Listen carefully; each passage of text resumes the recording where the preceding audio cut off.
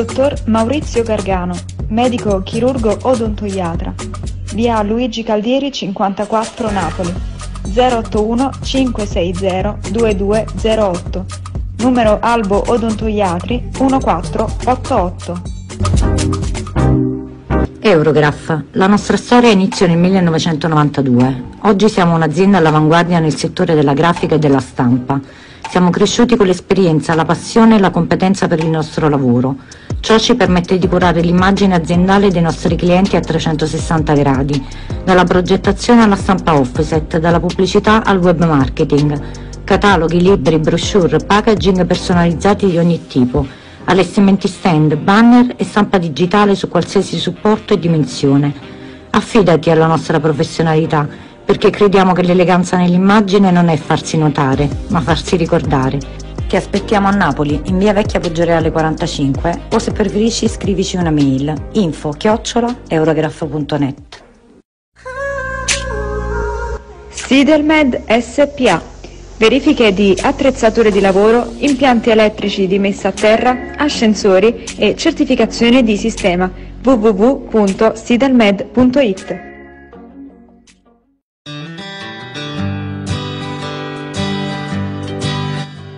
Apicoltura Vesuvio L'apicoltura Vesuvio, nata nel 1984, è ad oggi una realtà consolidata e ben nota in tutto il territorio vesuviano, grazie alla qualità ed alla genuinità dei suoi prodotti. Le sue arnie, posizionate alle pendici del Vesuvio, permettono la produzione di diversi tipi di miele, monofloreale pregiato che viene raccolto e lavorato, senza alcuna aggiunta o modifica al prodotto offerto dalla natura e dal grande lavoro delle api. L'ambiente ancora incontaminato del Parco del Vesuvio, l'accurata selezione degli sciami e l'assoluta genuinità della lavorazione rendono i prodotti dell'apicoltura Vesuvio adatti ad ogni uso, sia esso terapeutico che gastronomico. L'apicoltura Vesuvio si trova ad Ercolano, in traversa Belsito 14 www.apicolturavesuvio.it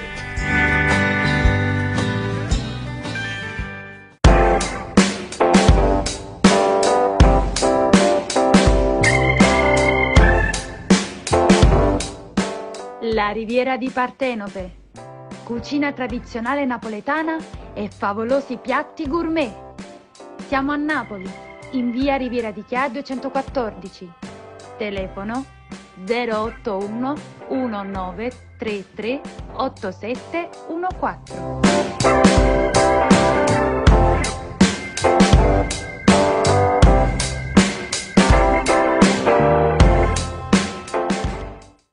Ed eccoci qua, buonasera, benvenuti, anzi bentornati a questa decima ed ultima puntata di punti di vista, un, un velo di tristezza sta attraversando lo studio che abbiamo popolato e affollato in, questi, eh, in queste dieci puntate. Chiaramente tantissime le persone che si sono avvicendate alle nostre eh, poltrone, tutti personaggi di grossissima levatura e di importanza anche sotto l'aspetto socio-economico della città. Ricordo che Punti di Vista è una trasmissione creata, ideata e diretta in collaborazione con la testata giornalistica Napoli News Magazine, Ager Campanus editrice. Anzi, stasera abbiamo il piacere di avere dietro alle telecamere eh, Esmeralda Mameli, che è la nostra corrispondente da Procida. Salutiamo e ringraziamo Esmeralda per essere venuta e per assistere a questo mio un pochino gorgoglio vocale. Passo a presentare gli ospiti. Questa sera abbiamo il privilegio, devo dire, di avere il dottor Antonio Ferrieri, presidente Confapi. Buonasera. Fatemi fare una sorpresa. Luigi, presentati. Carfora, io lo faccio di Confimi Industria Campana. E sapete perché ho fatto questo? Perché è la prima volta purtroppo nell'ultima puntata. Quindi Luigi, benvenutissimo. Alla mia Grazie. sinistra abbiamo Giusia Esposito, operatrice del settore del turismo, già stata nostra ospite titolare di una bellissima struttura eh, dedicata all'ospitalità che è Reginella e poi abbiamo l'immarcescibile Roberto De Laurentiis che è presidente federazione Orafa Campana. Perfetto. Eh, niente, partiamo subito a Mazzaseca con Antonio. Antonio, eh, un periodo importante, anche abbastanza travagliato, quello della tua presidenza, un riassunto brevissimo delle cose già fatte. Poi parleremo di quelle da fare, chiaramente. Allora, la Confabi, come tu ben sai, è un'associazione di categoria che proprio quest'anno ha compiuto i suoi 75 anni. Infatti, sì, avete sì. festeggiato. E... Dal 1947 al servizio delle imprese non si può dimenticare questa cosa. È un'associazione che sta sempre sul pezzo, chiaramente, con tutti i pro Uh, cercando di risolvere quanto più problemi a tutte le persone, sia associate o tutte le persone che ne richiedono chiaramente il proprio aiuto. Uh, in quest'anno si sono fatte tante belle cose, sicuramente. Antonio, tu ti sei trovato a gestire il post-Covid, ti, ti sei trovato a gestire un momento veramente drammatico per l'economia e per il commercio della città, sì, no? noi abbiamo vissuto tutto il periodo della pandemia dove diciamo, il 90% delle aziende stavamo tutti in crisi. Di conseguenza io nell'occasione ho cercato di dare la mia disponibilità principalmente a tutti gli associati se eventualmente potevamo uh, cercare di trovare una soluzione facendo sistema quanto più forte possibile in modo che poteva essere una soluzione per cercare di, uh, di, ris no, di risolvere il problema ma eventualmente di combattere il problema in quel periodo storico. Fortunatamente ci siamo riusciti eh, perché siamo stati molto uniti e questo è stato un fatto positivo, ci ha dato la possibilità che tutti quanti noi, ognuno collaborava in base alle proprie attitudini per cercare di portare quanto più uh, possibile ai propri imprenditori chiaramente quello che era i disagi, di, di colmare i disagi che noi abbiamo vissuto in quel periodo. Purtroppo non, si è potuto fare quello che si poteva. Quello che si poteva io ricordo le grandi chiacchierate perché poi ci siamo quasi intervistati a vicenda, io sì, sono venuto sì, più volte sì, a sentirti. Allora, io prima, allora, poi ritorniamo su Antonio e volevo dire questa cosa carina di, di Luigi. Luigi Carfora eh, già, eh, cioè il consiglio di, direttivo sceglie come presidente del consorzio su gestione Campania quale presidente di Confimi Campania. Un ruolo importante, un uh, mercato particolare perché stiamo parlando di industria e quindi un, un mercato delicato ma anche molto impegnativo. Sì, infatti ho onorato di ricoprire questa carica da luglio 2021 21. e non a caso noi ci troviamo a lavorare in una regione in cui ci sono più associazioni di categoria che industrie o imprese stesse a rappresentarle. Eh, questo non è un fatto positivo, anzi è un fatto negativissimo anche perché eh, le storiche, quelle più rappresentative, potrebbero, dovrebbero comunque rappresentare i bisogni, le esigenze eh, delle industrie, del, del commercio, dell'artigianato e del, dei servizi. Però c'è stato una sorta di sfilacciamento. C'è uno sfilacciamento perché le imprese non si sentono rappresentate, non sono rappresentate, ma oltre a dire non sono rappresentate c'è un allontanamento eh, proprio dalla cultura associativa, ma non che la Campania o il Meridione abbia questa grande propensione o, o simpatia per fare associazionismo, c'è cioè molto individualismo, mm, ma questo questo criterio eh, o questo problema, pregiudizio antropologico può essere eh, sicuramente superato con ehm, un'attività eh, che tende, che dovrebbe tendere a, a creare fiducia eh, tra le imprese e quindi nel tessuto imprenditoriale. Fatti provocare un attimo perché stai dicendo delle cose importantissime. Ti ringrazio. Diciamo che eh, le associazioni di categoria negli anni trascorsi però hanno anche un po' mollato le briglie, quindi c'è stato questo allontanamento perché la gente non si sentiva più rappresentata. Infatti eh, sottolineo eh, ed evidenzio, sottoscrivo quello che tu stai dicendo, eh, che se molti, molte imprese non sono iscritte è perché non sono rappresentate, non si sentono rappresentate, ci sono grossi problemi eh, che le industrie in particolare ehm, affrontano quotidianamente e che sono legati a, a problemi di manodopera eh, qualificata, che non ce n'è, non qualificata. Una volta si faceva tanta formazione è finita anche quella. Eh, infatti sì, ma se la formazione viene fatta negli enti di formazione senza che questi, sia i formatori che le stesse persone formate, vedano mai l'azienda, non è formazione. La formazione la si ha concretamente quando viene fatta nell'azienda, nell'industria, quando eh, si eh, percepisce eh, e si tocca con mano che quella che è l'attività da svolgere, ma fino a quando ehm, ci sono criteri solo per spendere fondi pubblici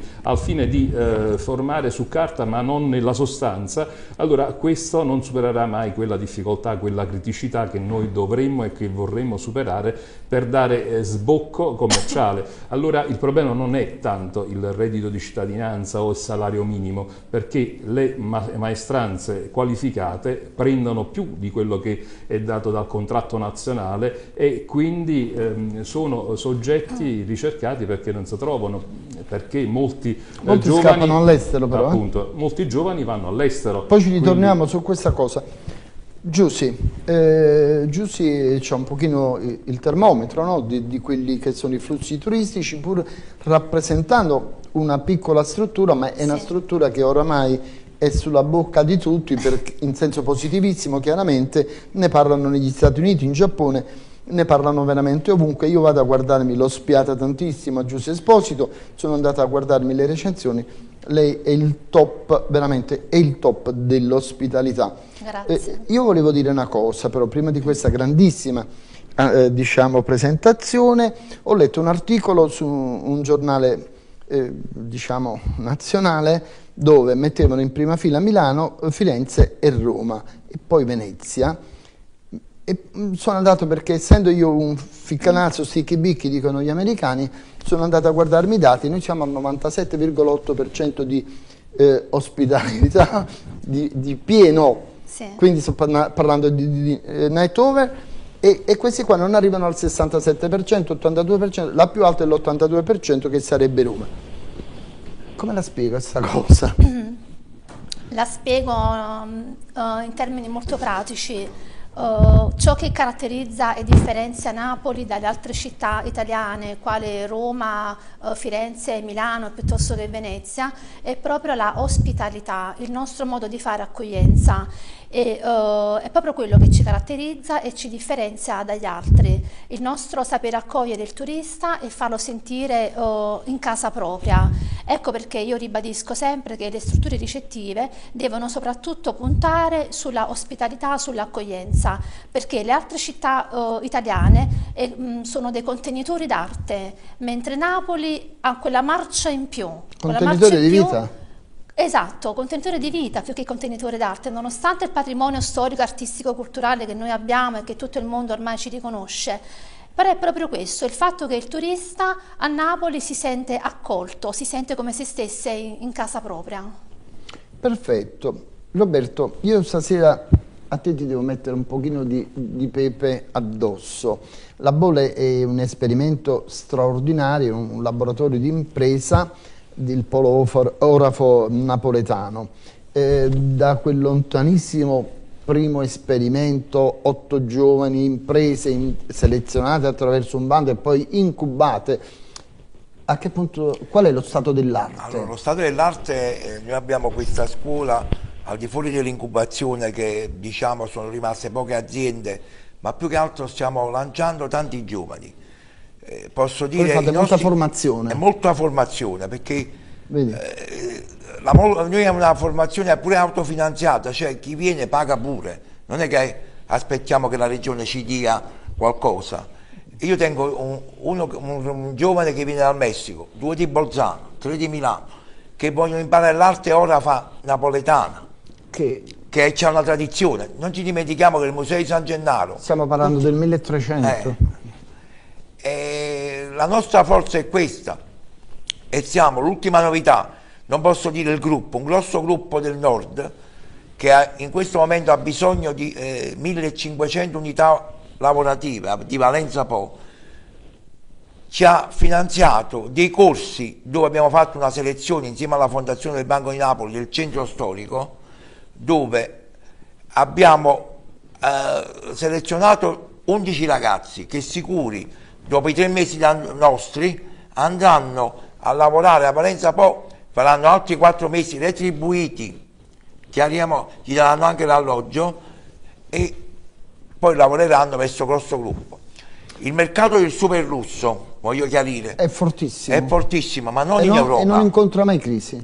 Non in, ma non in Europa, perché mi diceva il direttore di questo grosso gruppo, che veramente è grosso, che ha più marchi, che loro nel mercato europeo non è che abbiano molta importanza, loro hanno tutta l'Asia, Sud America, Stati Uniti, dove noi possiamo esprimere la nostra potenzialità e facciamo economia. Perfetto.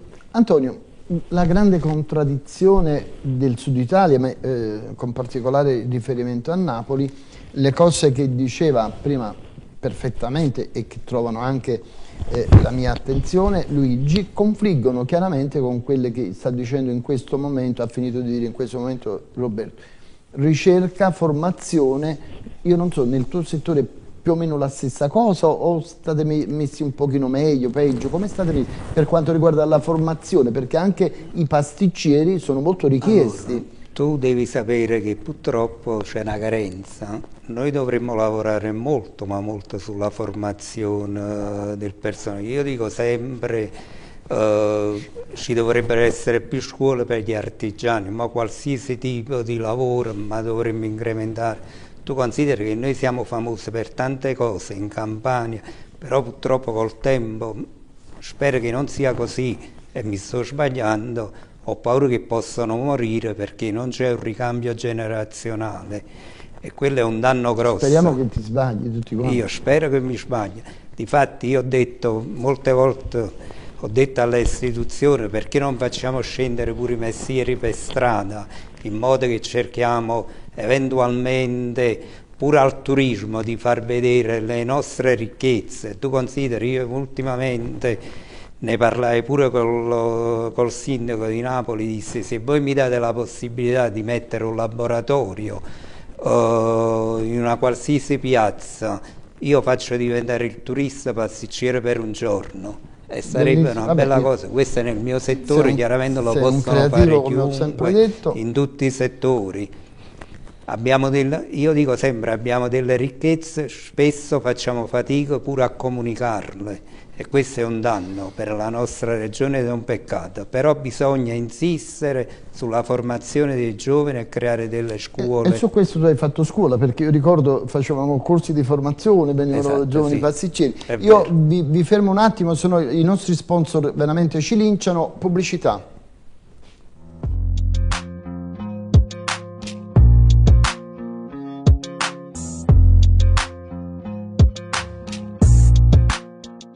Di Sfogliatella. Siamo a Corso Novara 1E 1F, Piazza Garibaldi 9394, Via Toledo 271 e all'interno della Food Hall nella stazione centrale di Napoli. Cuore di Sfogliatella chiocciolagmail.com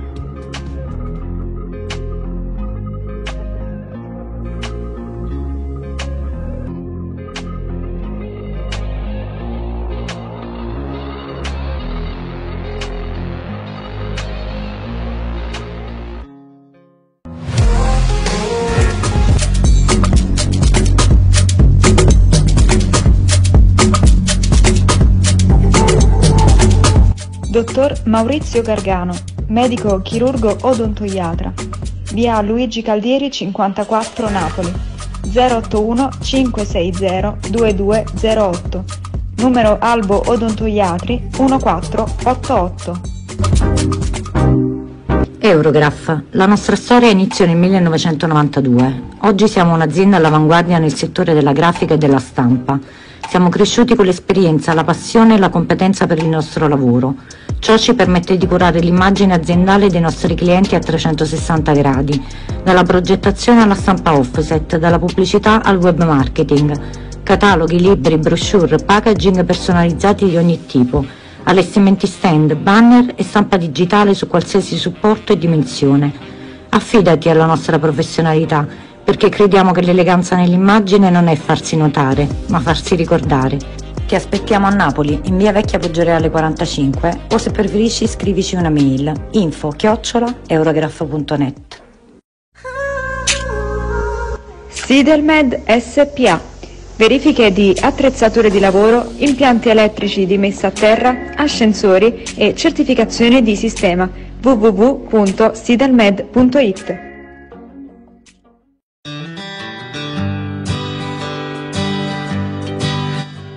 Apicoltura Vesuvio L'apicoltura Vesuvio, nata nel 1984, è ad oggi una realtà consolidata e ben nota in tutto il territorio vesuviano, grazie alla qualità ed alla genuinità dei suoi prodotti.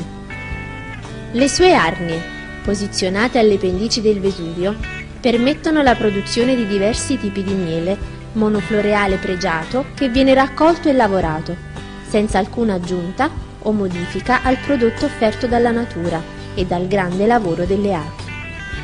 L'ambiente ancora incontaminato del Parco del Vesuvio, l'accurata selezione degli sciami e l'assoluta genuinità della lavorazione rendono i prodotti dell'apicoltura Vesuvio adatti ad ogni uso, sia esso terapeutico che gastronomico. L'apicoltura Vesuvio si trova ad Ercolano, in traversa Belsito 14 www.apicolturavesuvio.it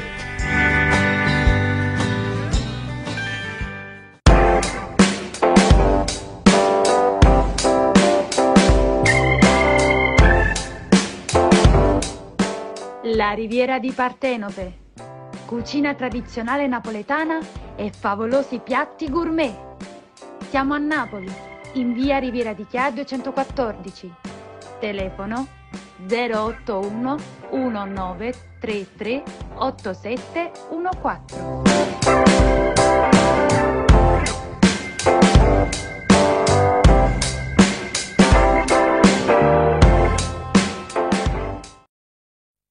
Eccoci qua, bentornati. Io sto leggendo anche moltissimi amici che ci stanno scrivendo da casa, poiché gli argomenti, ragazzi, abbiate sempre pietà di me, io vi chiedo scusa, sono tanti e sono anche veramente molto importanti, non che le vostre domande non lo siano, per l'amor di Dio, se no mi picchiate appena esco, sono importantissime, però io cerco di dare quanto più spazio è possibile agli ospiti, per, perlomeno per essere esaustivi e darvi quante più informazioni è possibile. Quindi noi Partiamo da eh, Luigi Carfora. Luigi, eh, quando uno sente questi paroloni altisonati, industria, l'industria nel sud Italia e non solo in Campania è, stata letteralmente martoriata, desertificata.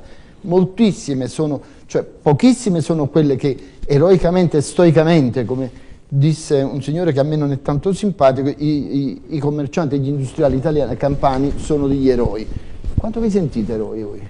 Tu ti ricordi chi lo disse, vero? Ma sì, eh, comunque in ogni caso eh, eh, in Campania abbiamo eh, poche industrie eh, altamente automatizzate eh, di brand. Quindi scarsissima manodopera? Sì, ma questa in pratica è, è l'Europa, questa è Nord Italia, l'industria del Nord Italia è altamente automatizzata, quindi poca manodopera e più competitivi sul mercato. E quindi questo è un primo gap che eh, l'industria campana eh, sconta eh, nei confronti di un'industria europea, un'industria del nord. Stai dicendo una cosa molto molto pesante. Tecnica. Eh, ma anche molto pesante. Sì, infatti. Perché adesso ti, ti motivo per, il quale, motivo per il quale c'è bisogno di eh, una manodopera altamente qualificata per ehm, ecco, eh, stare negli, sugli impianti. Eh, ma c'è da dire anche un'altra cosa, che la Campania eh, conta pochi, pochi, brand importanti e molte altre aziende sono eh, comunque vecchie, non si sono aggiornate, eh, non hanno eh, quel tipo di ehm, eh, aggiornamento tecnologico per tale da poter essere competitivi sul mercato. mercato Però la domanda mia è un'altra, scusami, io ogni tanto sì. devo interrompere gli ospiti no, anche se è antipatico. È vero, sì, ci sta un, un target di eh, tecnici che si sono qualificati, specializzati, eccetera. E tutto il resto? Infatti tutto il resto... Che gli diamo? Il reddito allora, di cittadinanza o li vogliamo no, riconvertire? Noi siamo passati... Cosa, cosa, fate voi come sindacato per questo? Siamo passati, eh, questo è quello che eh, sto facendo io, cercando di dare un, un, indirizzo, uno sprono alle istituzioni, perché ehm, da uno Stato che era eh, quello della Prima Repubblica, che governava i processi commerciali e imprenditoriali della nazione, ma anche il bilancio ehm, commerciale e import-export, ad uno eh, liberista, quindi libero mercato, dove il mercato certo. guarisce con il mercato. E quindi eh, questo non ha giovato per quale motivo? Perché le regole del mercato libero eh, sono regole da giungla e quindi chi è più forte eh, sopprime quello che è più debole, debole in termini di marcio, sì, in termini di marcio, di competitività, di, di prodotto, di, di prezzo e, e quindi eh, c'è da dire anche un'altra cosa che eh, con l'apertura delle frontiere eh, le aziende campane italiane hanno scontato anche il danno cinese dell'importazione dei prodotti oh, cinesi. Stavo arrivando a questo proprio. Risulta anche a te una controtendenza in questo caso? La Cina sta cominciando a comprare meccanismi e prodotti italiani industriali? No, la Cina ha comprato sempre know-how e poi... Um, Se li fa da sola? Eh, sì, ma non solo. Eh, molte imprese sono andate in Cina a produrre. Eh, C'è un, un fenomeno, diverso dal post-pandemia che molte aziende italiane ed europee dalla Cina stanno ritornando in Europa o addirittura in alcuni altri paesi, tra cui l'Italia che è poco attrattiva a livello economico, motivo per il quale eh, il governo italiano e, e, molte nazioni europee stanno attenzionando il Nord Africa perché sì. oltre al discorso dei Cina migranti... alta moda sta andando fortissimo. Sì, infatti, ma hanno un grosso potere Sono economico. Sono stato a Shanghai e a Pechino, sì. a due fiere intercontinentali. Però noi quando parliamo di Cina immaginiamo solo il prodotto non food, quello tessile, mm. eh, c'è da dire che invece non è così. Eh, la no, Cina eh, esporta anche, no, a parte la tecnologia, ma esporta anche prodotti alimentari. Eh, non tutti sanno del pomodoro, dei pinoli, sì, sì, eh, della frutta secca, eh, cioè di, della liquirizia addirittura. noi mangiamo delle liquirizie pensando che, fosse, che sia liquirizia calabrese, invece non è liquirizia calabrese. Lo stesso Quindi, per i pinoli, quelli là cinesi sono micro microscopici. I cinesi sono piccoli e esatto, quindi e bianchi, poi ci sono indiani e pakistani e quindi i pinoli italiani sono pochissimi. Eh, sono e costano anche tanto in più. E costano tantissimo. Perfetto, Giussi. Allora, il segreto, il consiglio, se dovesse presentarsi da te un collega, dice ho appena aperto, come devo fare per raggiungere i tuoi livelli? Allora, uh, la politica che ho sempre adottato nel mio lavoro e che mi ha portato negli anni ad avere grandi soddisfazioni è stata quella di puntare sull'accoglienza, sull'ospitalità, che eh, ci differenzia dalle altre insomma, città italiane.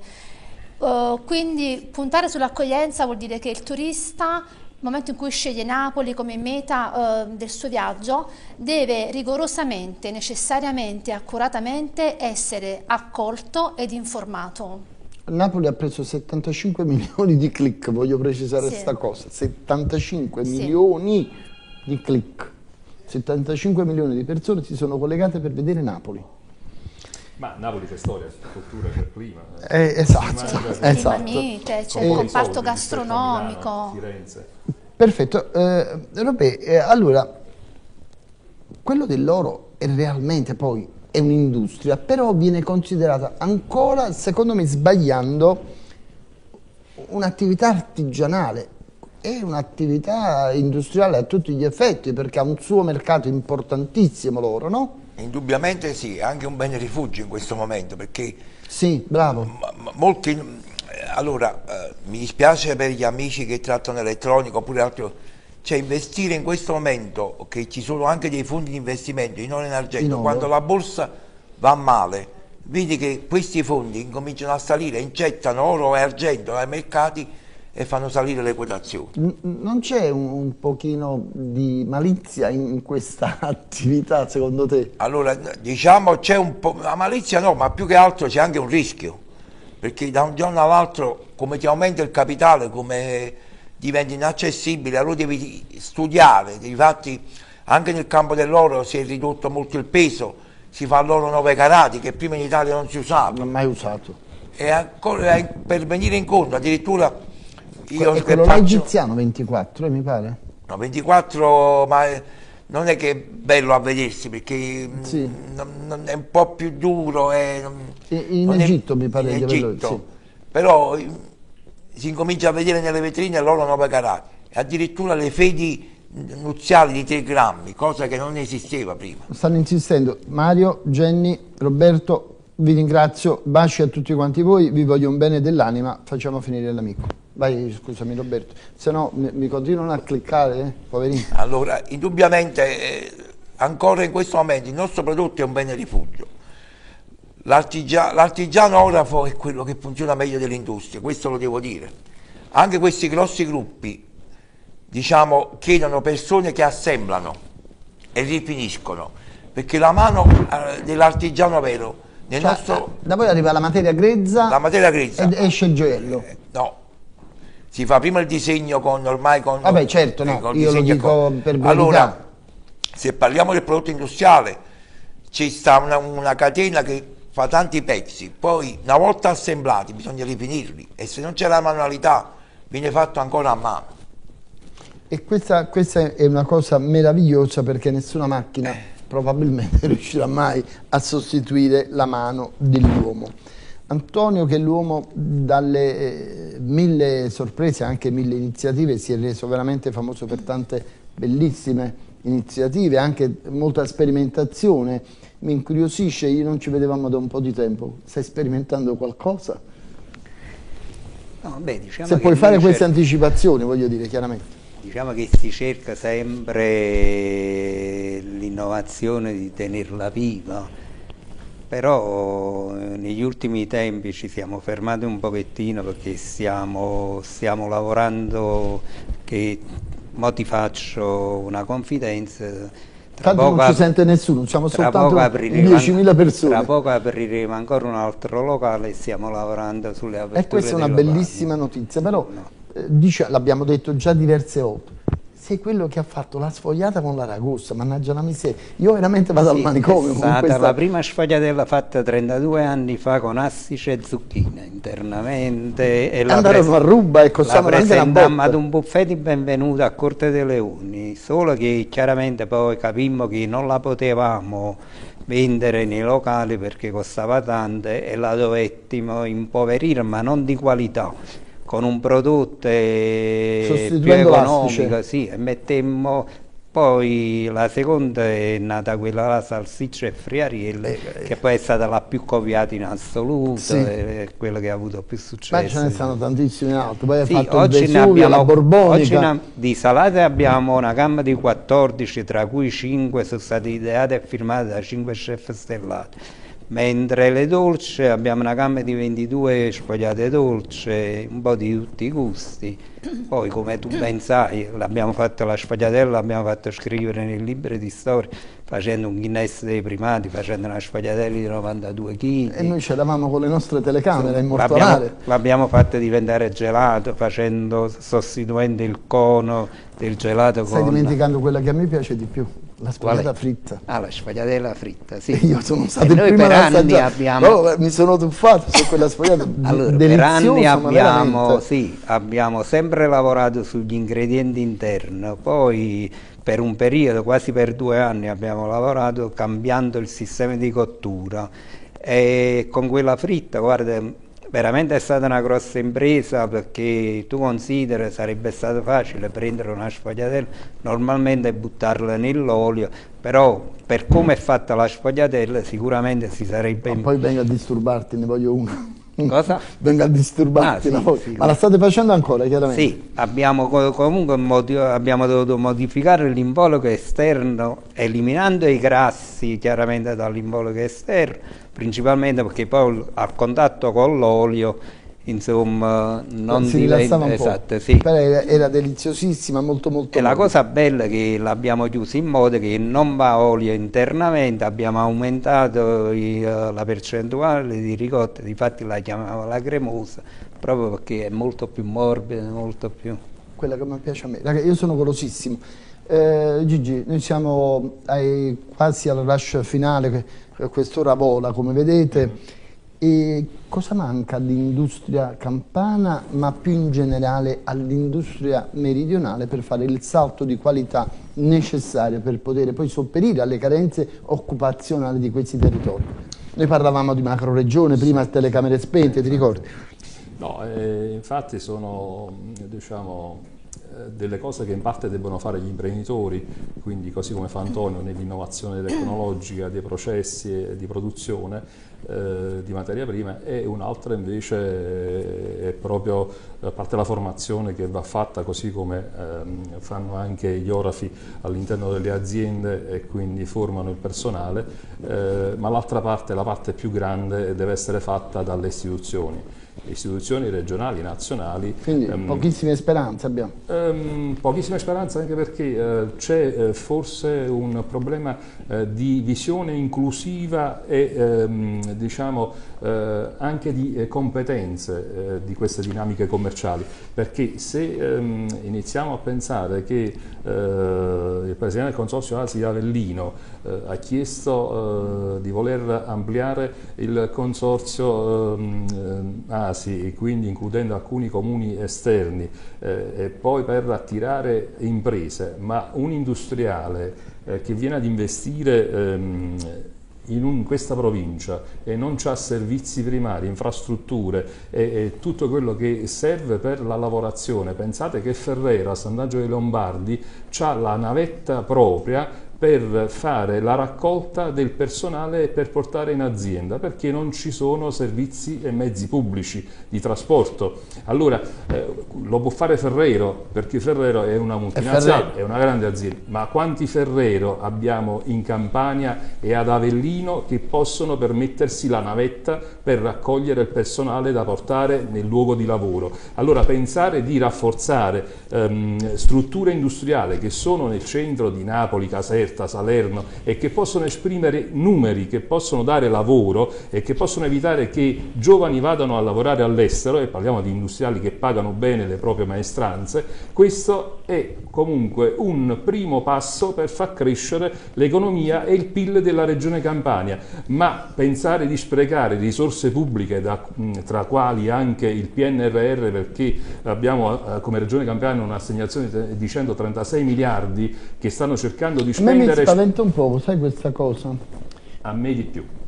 Perché io non mi fido molto di questo progetto PNR, perché poi l'ho anche un pochino studiato, anche sempre in relazione alla questione macro-regionale.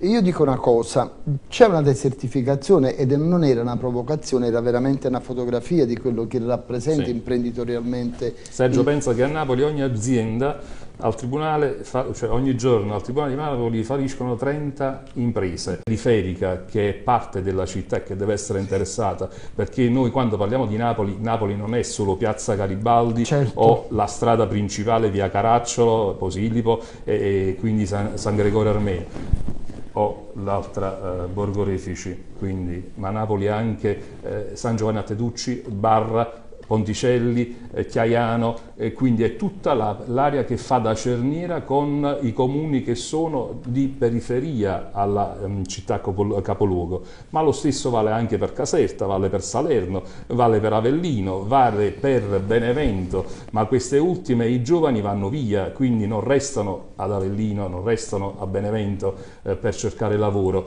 vanno a nord o vanno all'estero, quindi eh, questo è un compito che la politica dovrebbe ehm, diciamo, farsi carico, iniziare a pensare e a programmare per il futuro della nostra regione, eh, ma attualmente è latente, quindi si pensa no, molto a spendere cosa ti voglio, ti voglio poco a proprio, programmare con strategia. No, ti voglio proprio brevemente, brevemente perché io vorrei che la gente da casa insomma, ci ascoltasse veramente con grande attenzione.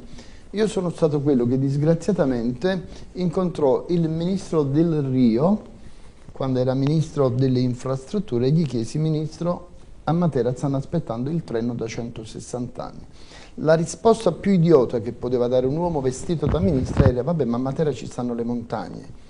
A Torino, in Piemonte, hanno una linea ferroviaria a 40 binari dove circolano 400 treni al giorno, la Torino-Lione, una cose inutili perché ne hanno già un altro che ne fa camminare 40 che sono quelli là utili, gli altri sono solo sulla carta perché non credo che viaggino 400 treni. E qua non abbiamo la carenza delle infrastrutture, ma non è, una, che... è una volontà chiara, sì, netta, politica. Io ti voglio portare perché... solo ti voglio portare solo un altro esempio che è molto più facile eh, quindi da risolvere. Noi qua oggi parliamo di fibra e di 5G, quindi eh, digitale. No, io voglio andare al cuore, no, ho capito dove stai parando. Io ti capisco. Ancora, hanno ancora il vecchio No, però io voglio dirti una cosa, tu mi devi spiegare questo, perché se Antonio Ferrieri mette in attività a Milano pagherà un tasso bancario del 6% più basso di quello che pagherebbe aprendo un'attività qui in Campania. Sì. Ci, sta, ci sta, noi non siamo competitivi con il nord perché il nord non vuole competitori interni. Pensate che il nord che è così bravo, produttivo e laborioso riesce ad esportare soltanto il 13% del loro prodotto interno in Europa. Sapete l'altro 67% dove va a finire? Sulle tavole dei meridionali. Loro hanno desertificato tutto ciò che parte dalla Campania fino all'ultima provincia etnea e vendono prodotti che comprano da noi a quattro pidocchi, li imballano e ce li rivendono a un... No, ma c'è un'altra cosa che molte di Quindi l'imprenditore meridionale no, deve fare tre italiane. volte la fatica di quello che fa un imprenditore del nord. queste aziende che stanno anche al nord e che portano il brand italiano non sono nemmeno di proprietà italiana, sono Unilever, Ormai, sì, c'è, sono Nestlé, c'è, quindi ma la stessa, eh, la, come si chiama, l'amaro, eh, quello siciliano, l'amaro Averna, non è più italiano. Allora, quante ma aziende da tempo, da tempo quindi quante aziende sono rimaste italiane, quante aziende Ma lavorano in Italia e producono per l'Italia. Un signore che a me sta particolarmente antipatico, che si chiama Bill Gates, ha comprato quattro marchi di birra, nostri, compreso la Messina. Infatti Messina e la gente è... è convinta di andare a comprare una birra siciliana e sta comprando una birra americana perché? Credimi, ho fatto lo stesso errore, pensavo fosse siciliana, Messina, invece ho visto l'etichetta, non era eh, È americana, la birra Messina. Ragazzi, allora... La Veronica io, era italiana, non è più io, italiana. Eh, proprio un telegramma, turismo, veloce, auspicio.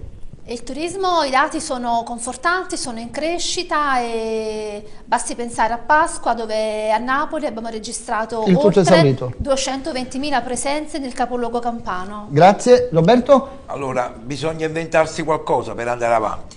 Questo è importante. Allora, io voglio rubare qualche minuto ai miei ospiti gratitissimi, oltre che amici tutti quanti, per salutare veramente tutta la squadra. Io non lo faccio quasi mai, però è l'ultima puntata, ho il dovere di ringraziare la redazione a partire dal direttore che è Antonio Mattia che ci sta guardando, sta a con la redazione nostra romana, eh, Esmeralda per quanto riguarda eh, Procida, però Sara Barone, eh, Giussi Battaglia, eh, Giuseppe Silvestri per eh, il calcio, lo sport, Antonio eh, Antonio Russo per la cultura, siamo veramente, siamo una bella squadra, poi ci sto anche io umilmente che ogni tanto do fastidio un po' a tutti quanti, però quello che è bello è che ci state sempre voi e che ogni anno ci seguite. Questa qua è l'ultima puntata di questo ciclo bellissimo, è stato anche molto emozionante, quindi io devo ringraziare anche Fabrizio e Gianluca che hanno una pazienza straordinaria, eh, Gianluca alla regia e Fabrizio tecnico camere e anche luci sono due ragazzi meravigliosi, grazie ragazzi, stanno di fronte a me, voi non li vedete e lo faccio veramente di vero cuore. Ringrazio l'emittente che ci ospita, credo volentieri, Gianluca, e ringrazio soprattutto voi che da casa avete la pazienza di ascoltare questo pazzo che ogni tanto vi dice delle verità. Io avevo portato nel mio zainetto una letterina eh, e Verde che mi hanno scritto dei ragazzi dove abbiamo fatto un corso di giornalismo in una scuola media di San Giorgio a Cremano. Mi hanno, mi hanno grazie, scusate, mi, mi allontano un attimino proprio, non è questa, è una lettera proprio verde, una busta verde e dove questi ragazzi ci scrivono sostanzialmente grazie per averci insegnato a raccontare la verità da questa, da questa sede, eh, da questa testata giornalistica, voi sentirete sempre e solo, esclusivamente, la verità delle cose, così come stanno. Non ci siamo mai asserviti a nessuno, non abbiamo avuto mai padrini, nemmeno padroni, e quindi siamo orgogliosamente uomini liberi e raccontiamo, come vedete, anzi vorrei che la leggesse proprio il mio amico Luigi, Eh, Ah, che carino, leggila tu che sei più alta.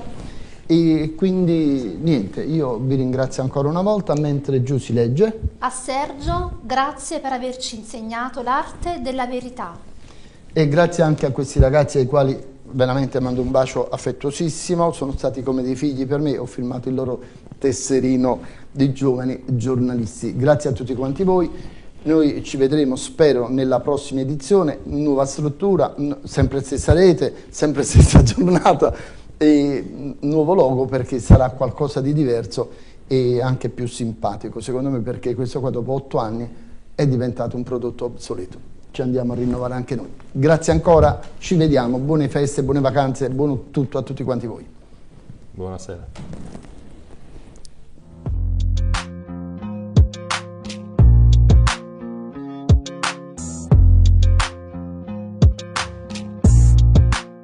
Cuore di Sfogliatella. Siamo a Corso Novara 1E 1F, Piazza Garibaldi 9394, Via Toledo 271 e all'interno della Food Hall nella stazione centrale di Napoli. Cuore di Sfogliatella chiocciolagmail.com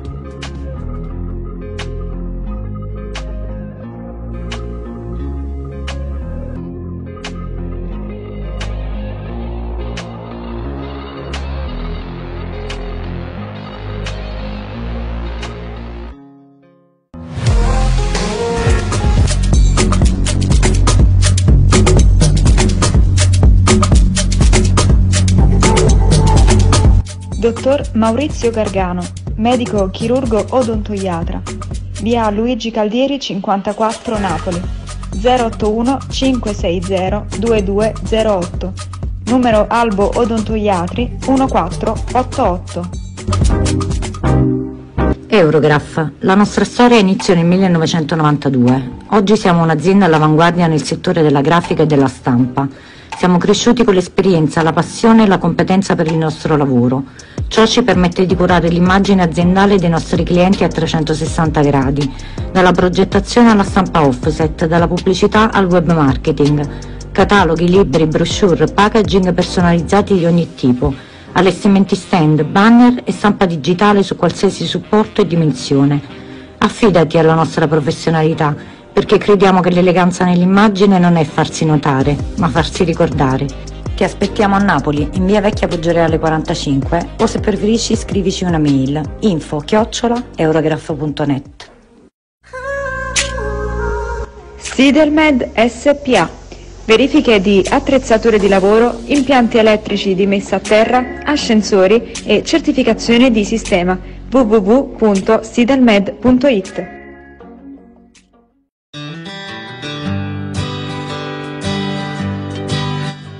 Apicoltura Vesuvio L'apicoltura Vesuvio, nata nel 1984, è ad oggi una realtà consolidata e ben nota in tutto il territorio vesuviano, grazie alla qualità ed alla genuinità dei suoi prodotti.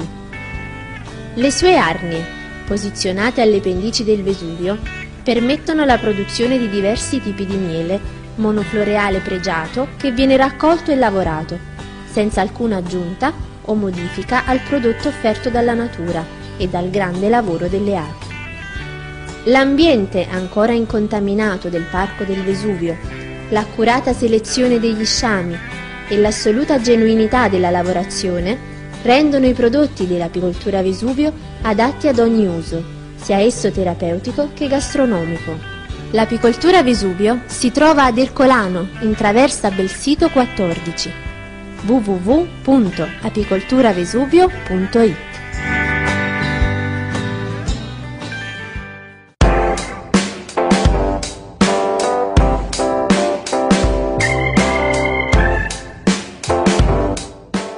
La riviera di Partenope. Cucina tradizionale napoletana e favolosi piatti gourmet. Siamo a Napoli, in via Riviera di Chia 214. Telefono